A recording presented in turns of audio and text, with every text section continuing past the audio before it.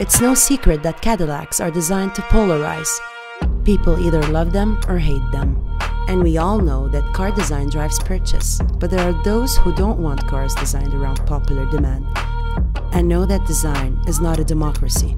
Inspired by Cadillac's bold design philosophy, we collaborated with avant garde Arab social influencers to make a statement about edgy, aggressive design that couldn't care less about what society has to say.